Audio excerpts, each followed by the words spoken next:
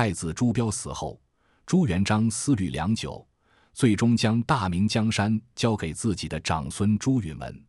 为避免各地藩王起兵造反，朱元璋精心谋划多年，为自己孙子扫平了障碍。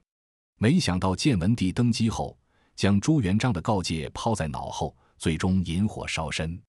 在朱元璋迈进花甲之年后，感觉到身体一天不如一天，所以将全部心血都放在儿子朱标身上。他万万没想到，好在自己六十五岁那年，发生了一件让他无法接受的事情。那一年的八月，朱元璋正在准备马皇后十周年忌日。按理说，这件事本应让自己的嫡长子朱标操办，但是太子从洛阳回到南京后。就生了一场大病，正躺在东宫养病，祭奠马皇后的事情就落在朱元璋身上。朱元璋正在处理各项事宜的时候，东宫突然传出太子病死的消息。他在朱标葬礼上痛哭流涕，但终究无法改变白发人送黑发人这一事实。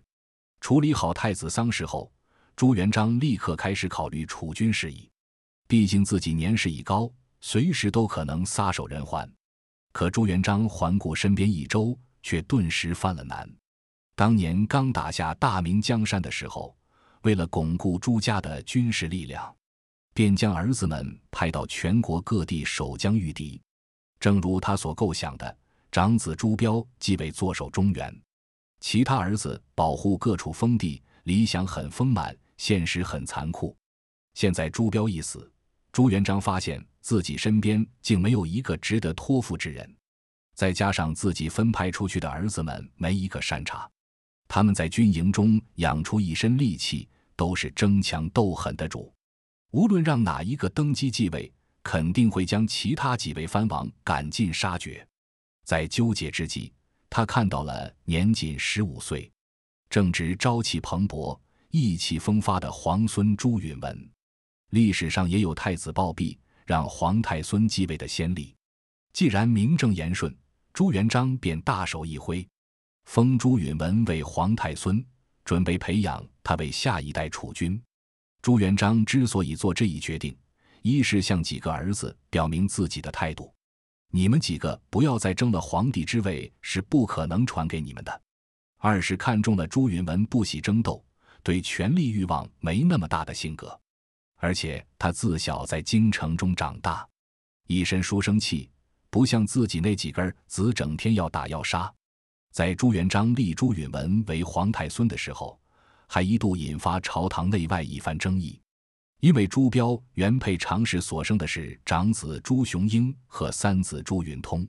按理说，朱雄英年少暴毙后，也应该立朱允通为皇太孙。如果翻看史书，我们便能寻出一些蛛丝马迹。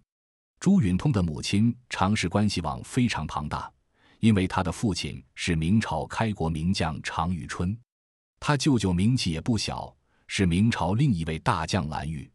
朱允通的身份背景非常深厚，背后有外祖父常家撑腰，还有老舅蓝玉坐镇。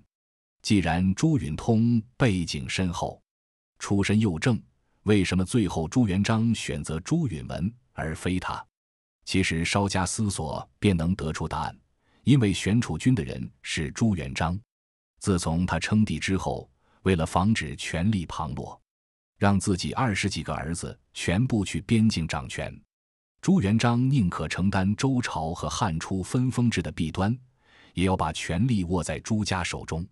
他怎么可能选一个被两大外戚势力包围的朱允通？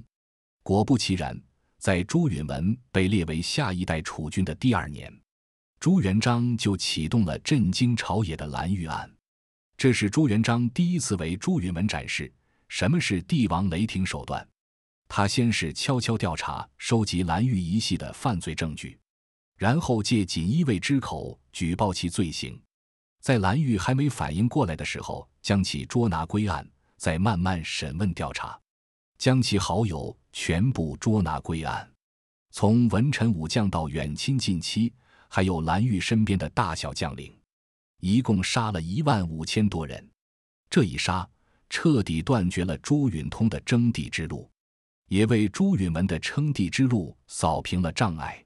朱元璋看似杀起人来雷厉风行，经常搞得满城风雨，人人自危，但这些都是私下里布局已久，在行动之前不动声色，等到出手时便是迅如闪电，丝毫不给对手反抗的机会。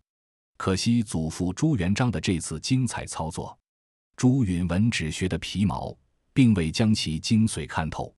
虽然朱允文没学会，但朱元璋这次杀伐震慑住了他那几个蠢蠢欲动的儿子们。无论是北方的燕王朱棣，还是善于计谋的宁王朱权，都不再对立皇孙为楚多说什么。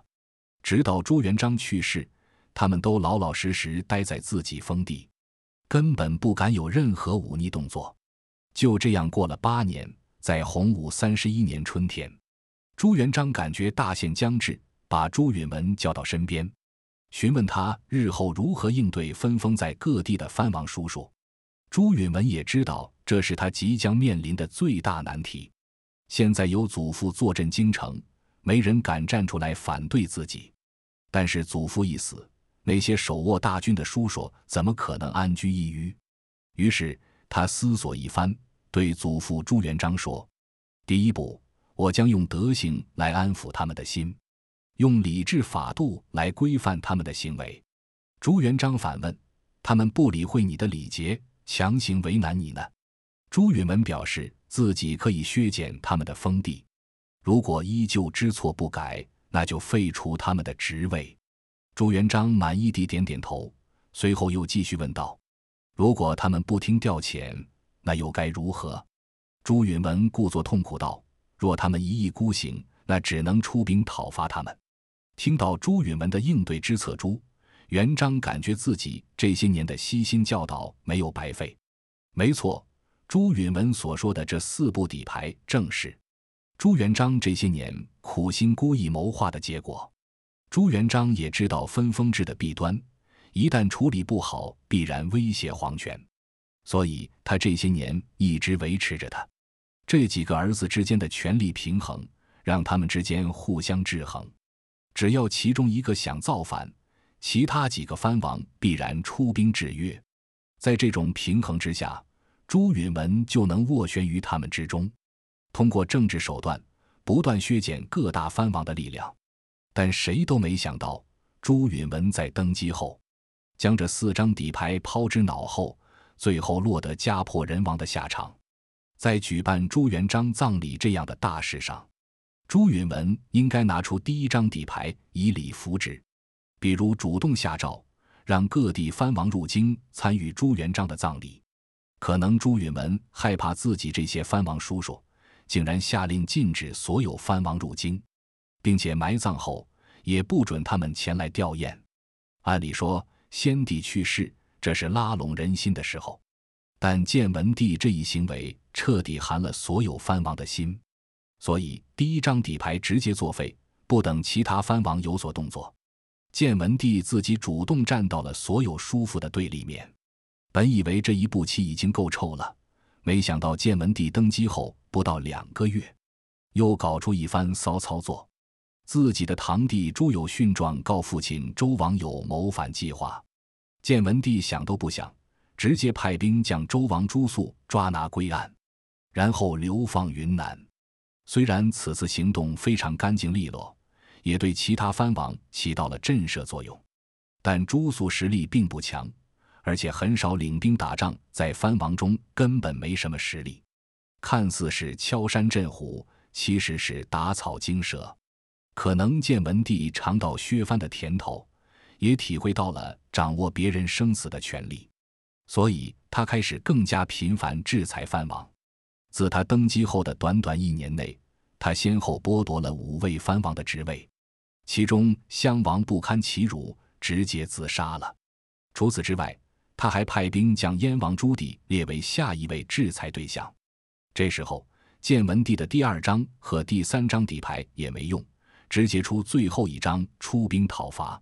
在朝内部粉臣子的鼓吹下，建文帝纠集大军，准备一举拿下燕王朱棣。三番五次的削藩，让朱棣苦不堪言。在看到前面五位兄弟的下场后，他决定起兵造反。之前燕王一直不敢有造反之心，是因为他背后还有一个宁王看着呢。宁王封地在北方大宁，也就是现在的内蒙赤峰。如果燕王骑兵南下，那宁王必然率兵南下攻打燕王北平。但是好巧不巧，宁王在这时候也被制裁了，被剥夺军权，每日无所事事。于是，燕王朱棣赌了一把大的，让儿子朱高炽死守北平，自己率大军北上攻打宁王。因为宁王被夺权，所以没怎么抵抗，就被朱棣收服了。宁王一看自己落得这样的下场，于是便接受朱棣抛来的橄榄枝，打算推翻建文帝的统治。燕王、宁王作为当时实力最为强盛的两大藩王，两人合体后。朵颜三位都心甘情愿为朱棣所用，于是燕宁两路大军大举南下，一路摧枯拉朽，直接打进了大明京都金陵。而建文帝见状如此，一把大火烧了宫殿，人也不知所踪。建文帝朱允文明明握一手好牌，却因为自己的傲慢，毁掉了祖父朱元璋的精心布局。他又急于削藩，将四张底牌尽数废弃。如果他循序渐进，也不至于成为短命皇帝。